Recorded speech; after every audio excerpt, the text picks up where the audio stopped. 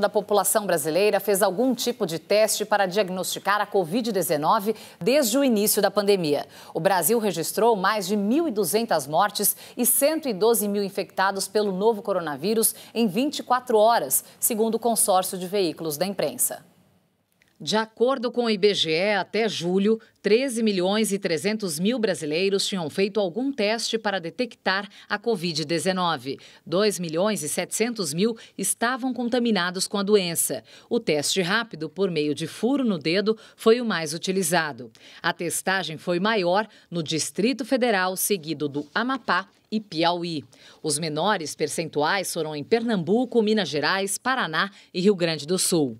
Segundo o consórcio de veículos de imprensa, o Brasil tem mais de 3 milhões e 505 mil casos e 112.400 mortes por Covid-19. Nas últimas 24 horas, foram 44.600 novos infectados e 1.234 óbitos. Já o Ministério da Saúde registrou mais de 3 milhões e 501 mil casos e 112.300 óbitos. No último dia, foram 45.300 casos e 1.204 mortes.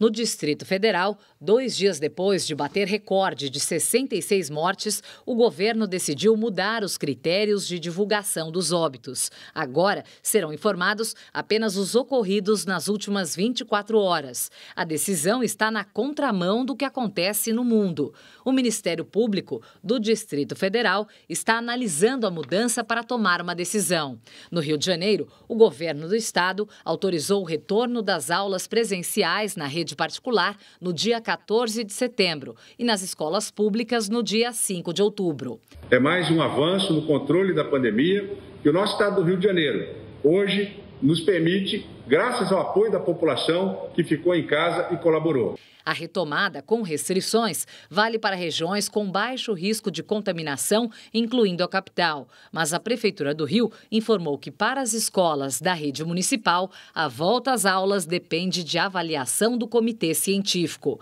A partir de hoje, centros culturais, teatros e cinemas estão autorizados a funcionar com capacidade reduzida.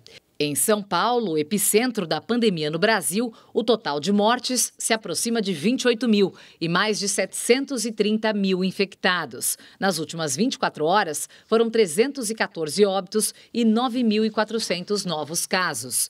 A vacina chinesa, em parceria com o Instituto Butantan, em teste com 9 mil voluntários, vai receber 82 milhões e meio de reais para serem aplicados nos ensaios clínicos da fase 3.